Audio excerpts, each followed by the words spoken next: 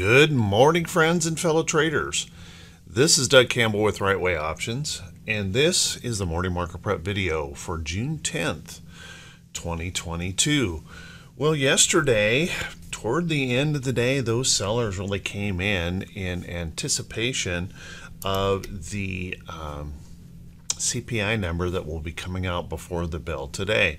So, what's that mean for today? Well, how about we settle in? Let's buckle up. Let's get ready for the Friday edition of the Morning Market Prep video.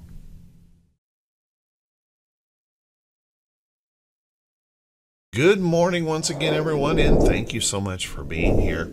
Hey, before we get started, um, I have decided that today is a no blog Friday, so there'll be no blog today. A um, couple of reasons. There's not much to really talk about um, when it comes to earnings and things like that today. And I also want to let everyone know that I've decided it's kind of a free for all Friday with the CPI number. So I'm opening up right way options to everyone today. Just go to the Hit and Run Candlesticks website. You can come on over to the right way options trading room. It's free and open to you and I hope to see you there. Let's take a look at um, the market here, take a look at the indexes, see if we can gain some information about how we may want to approach the market for today. Looking at the Dow chart, well, you know, we've been range bound here. We've been stuck in this range, and that range has been very frustrating for a lot of folks. Been frustrating for me too because we've just been chopping in this very wide range. unfortunately, yesterday those bears really came in breaking that lower side of that trend. Now, the problem that we have here with this is um, kind of twofold. First off, this is officially a lower high now because we've failed at price resistance in the chart.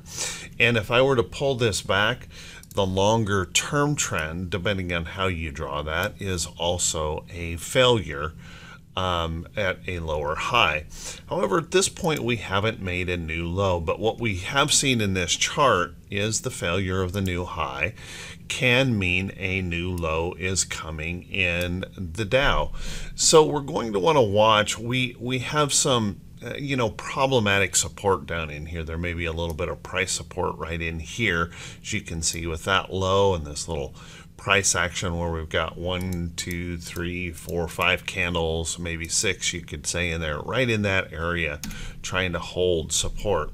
And the thing is, we don't know what we're going to get out of the data today. So anything is possible, but you're going to want to watch that pretty closely.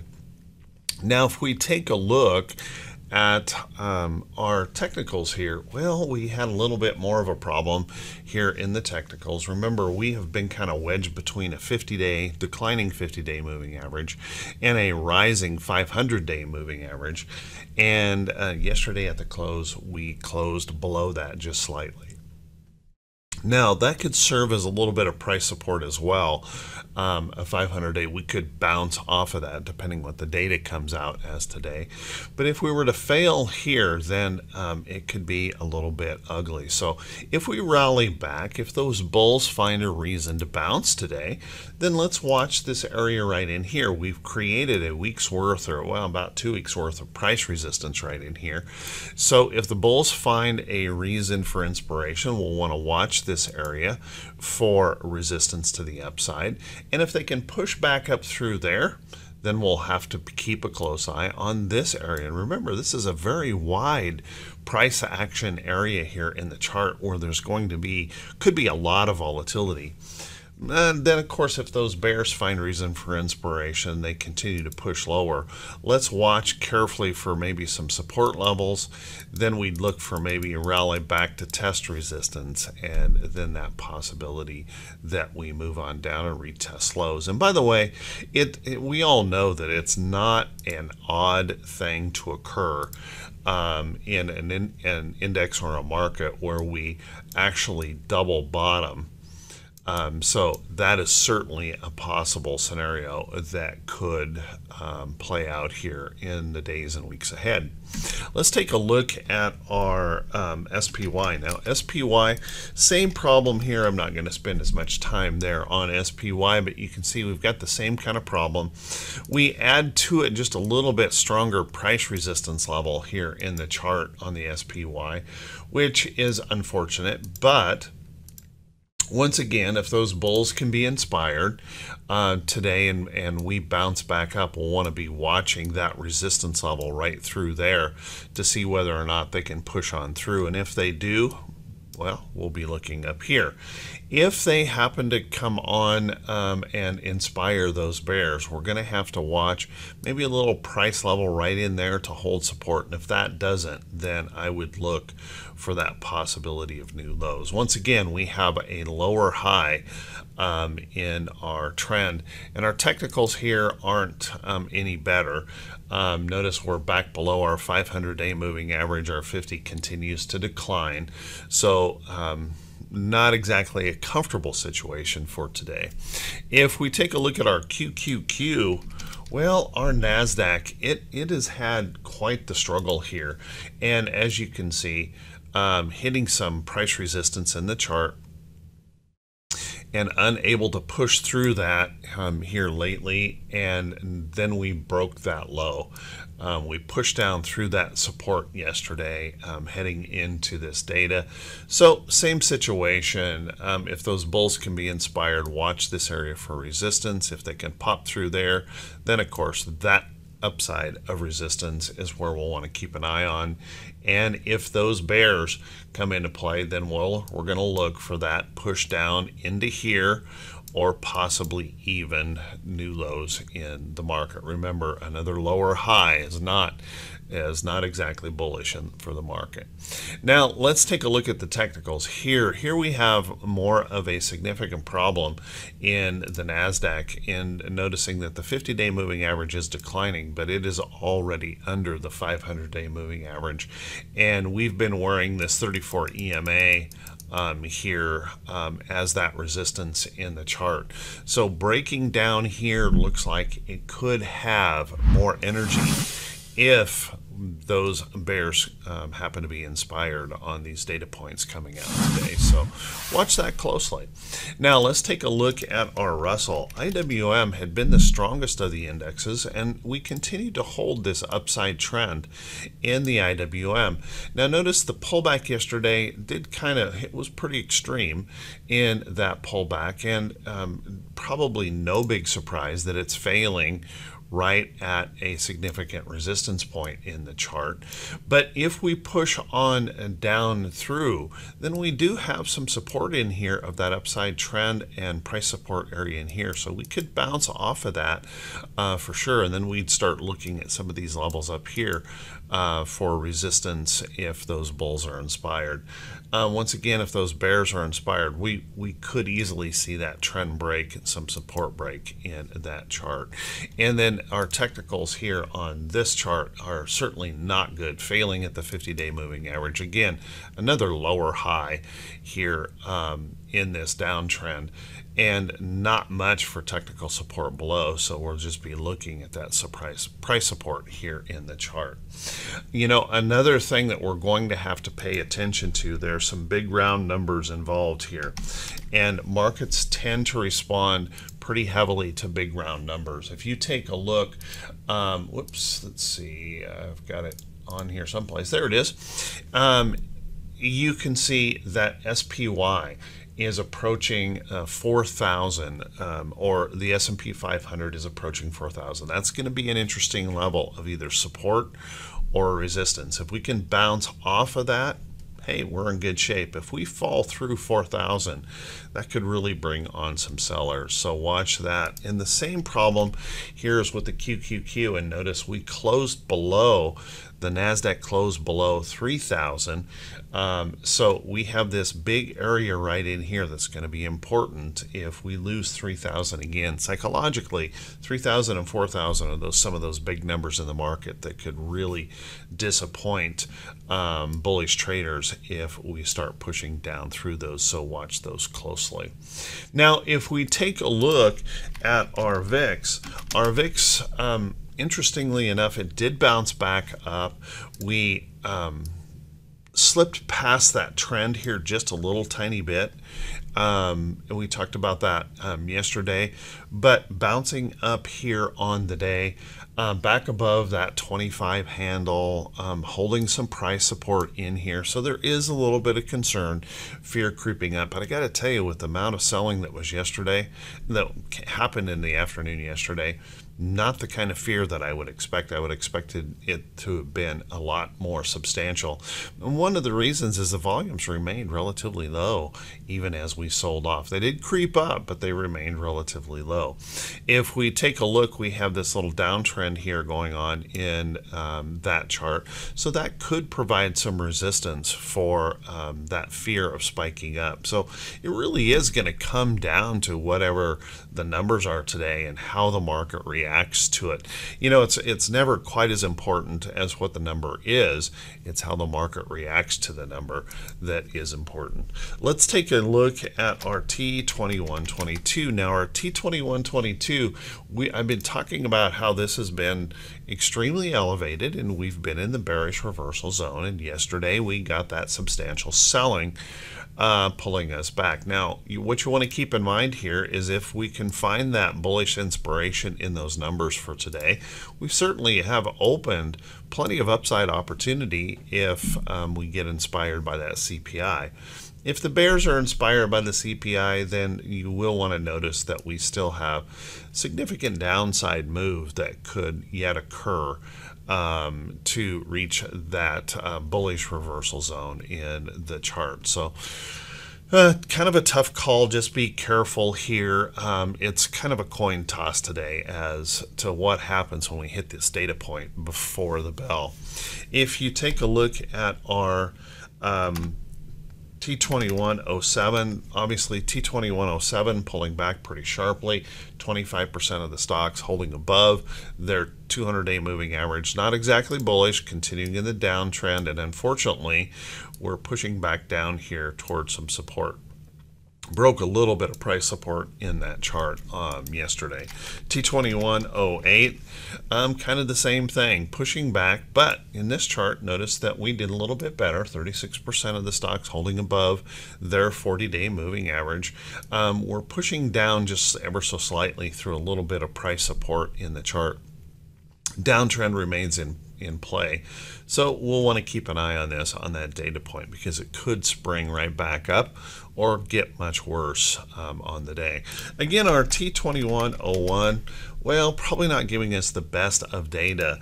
And the reason is, is if we look at our index charts, although we saw that selling come in pretty hard yesterday, let's get the daily chart here, and we did creep up ever so slightly on volume. Um, no major uh, spike in volume that really says the momentum has has shifted just yet. Now, certainly there is that hint that um, we are in a little bit of trouble because that volume did come up, but it wasn't substantial. So um, just be a little bit careful and cautious today. Let's take a look um, at um, our um, economic calendar for today, and, and that's, you know, the economic calendar is where it's going to be. Um, we're going to get finally get this CPI number. We're going to, going to get a read on it. There is talking heads all over the place. Some are saying um, inflation has topped. Some are saying, well, as a matter of fact, the headline on CNBC consumer price inflation in May expected to run sizzling hot in energy, food, and rents as they rise. So we'll want to keep an eye on that because uh, they're on both sides of this. Um, as a matter of fact, there's a pretty um, pretty rough um, article in here from um, um, one of the major talking heads of the market saying the Fed is bluffing that they don't have the tools um, to fix anything in inflation. Now, I don't know. Um, you know, a lot of emotion. That's what I'm going to say. There's a lot of emotion and there's a lot of intensity built up about this number. So what that means is, if the when the number comes out, there is that possibility of a substantial move in the market. So you want to be prepared for that, and that's going to happen before the market opens. It could either move sharply higher really fast or sharply lower really fast. And I've been warning about this. So again, it's not so much about what the number is, it's how the market reacts. And, and I would also um, be a little bit careful and watch for that potential whipsaw today. It's one of the reasons I decided to just go ahead and open up the room for today because I don't think there's going to be any trading for me. We took some really nice profits um, on some bearish um, positions yesterday, but I just don't think they're um, there's going to be a whole lot of trading for me because I think it could be really wild uh, price action and whipsaw and uh, that kind of thing. So, um, hope to see you in the trading room today. And then we're going to get um, the consumer sentiment. And I do think, I mean, this is my favorite number. Um, the consumer sentiment number tells us an awful lot about how the consumer is feeling. And I have to imagine that as we continue to push up than um, in these food and energy prices that um, the consumer probably doesn't feel that well. Now, yesterday I made some comments. I've been making some comments about record high gas prices, and I got challenged yesterday um, in um, the YouTube video saying you're not accounting for um, inflation adjusted. Um, situation, you know, there on gas prices, and that's true. I have not um, done any calculations about inflation adjusting. But here's the thing, guys. Um, I, when you look across to all of the media platforms out there, you look at CNN, CNN, um, U.S. gas prices jumped to record high. These are the highest prices we have ever paid in the United States. We have never seen prices this high. So when I say record highs, I'm not talking about any inflation adjusted. Um, you know, whatever, however you want to look at it. But we're seeing, you know, um, uh, all over the place, uh, CNET, record highs. Um, we're seeing lots of videos, um, record highs. We're seeing uh, from USA Today, um, why are things um, so expensive and record highs? ABC News, we're the highest we've ever been. Um, that's a record high. And it's because the prices have never been seen this high in the United States. And yes, you could say, okay, that's not fair because of inflation uh, adjustment, but let's remember who created the inflation. Um, and now they're trying to decide how to fix the inflation. So the fact of the matter is, our gas prices are at record highs, and we are hitting um, new records here this morning.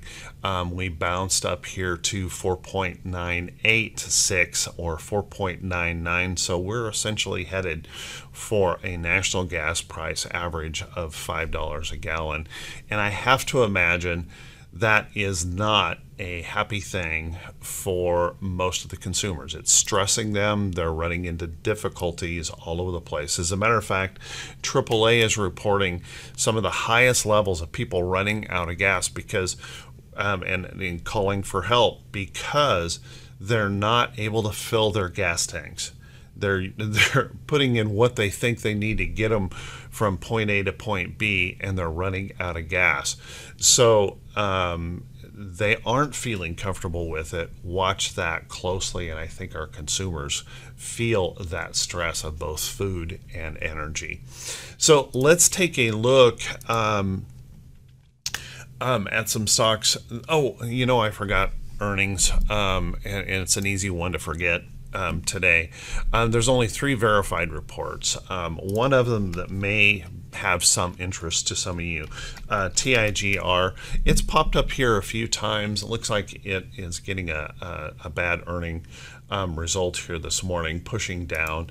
Um, this has been trying to come up, uh, maybe worth keeping an eye on, and that's really the only notable um, of the day here. So, probably not going to be anything of major importance um, to the overall market.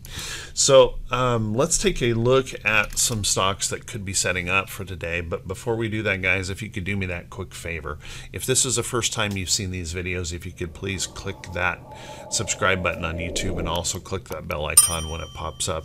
And if you find these videos to be useful and helpful, please click those thumbs up buttons and leave that brief comment. And yesterday, you guys did a bang up job going through and clicking the thumbs up buttons on the responses to the channel. Thank you so much. It's that engagement with the channel that helps um, it to continue to grow. And I just want to say thank you so very much for your kind support of the effort.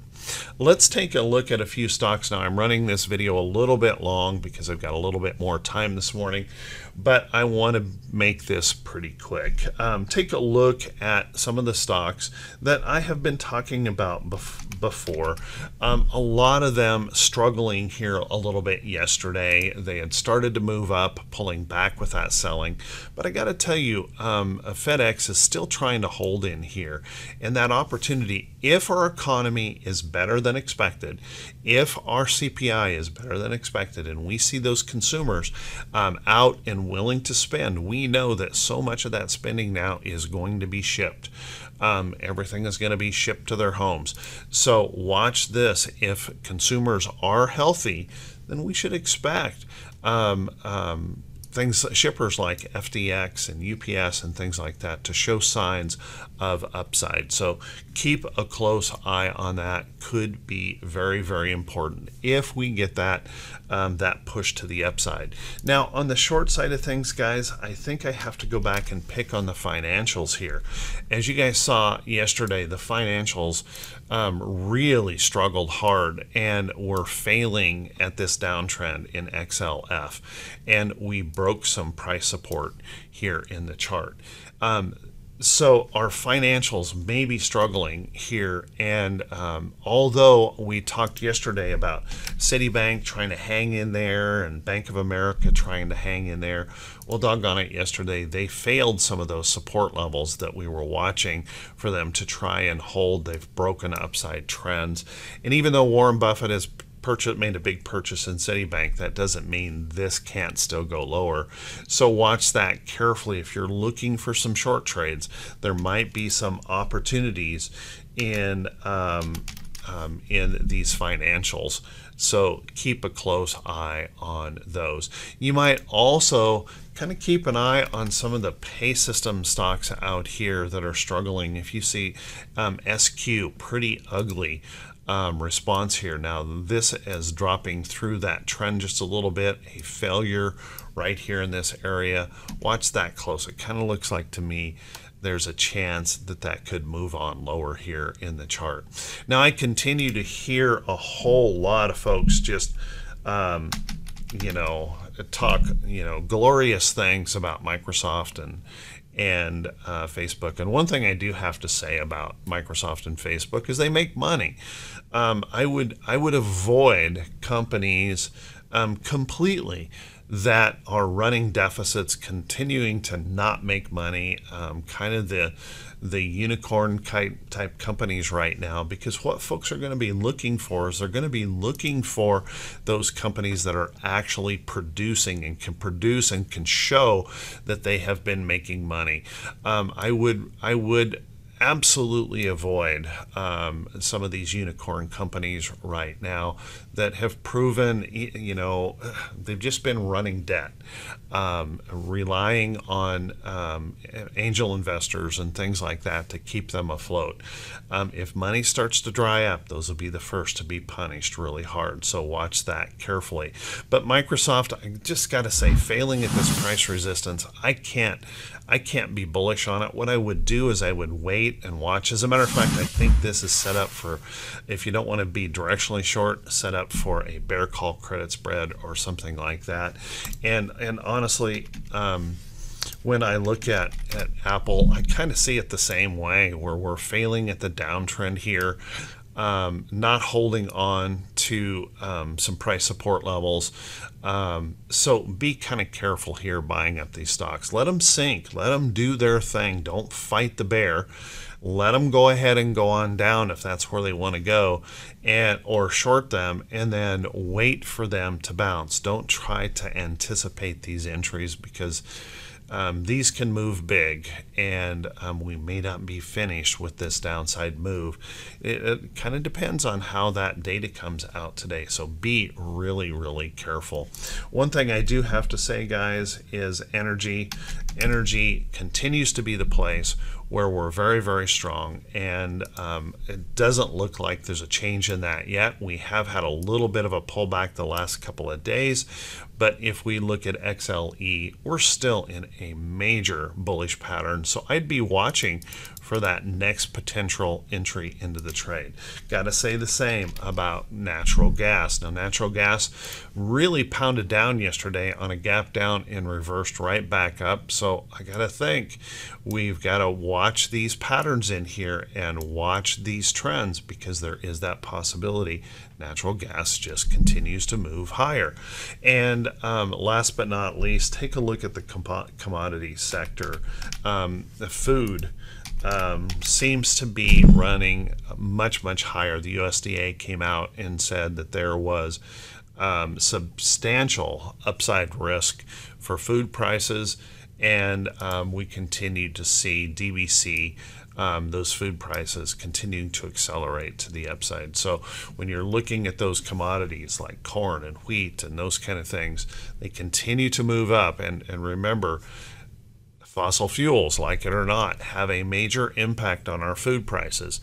And um, it just costs um, an, an, awful lot to put a crop in and get it out of the ground in fossil fuels, and that trickles into the price of everything we buy food um, wise. So you'll want to think about those because they continue to remain strong. So, with that, everyone, hey, I want to wish you all a fantastic day. I want to wish you great results in your trading. Thank you so much for being here. And um, I want to wish you a wonderful, wonderful weekend. And if you get the chance, if you feel like you can, come on over. To see you in our trading room today. I want to wish you guys all the best. We'll see you right back here bright and early Monday morning. Take care, everyone.